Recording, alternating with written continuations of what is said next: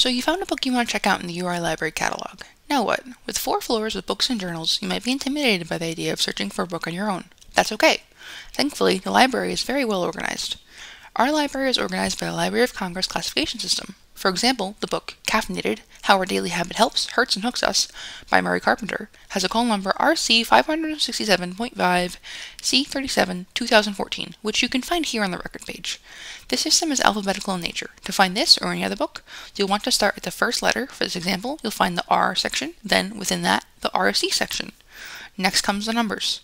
Once you find the RC books, you'll want to find the 500s, and then look for 567.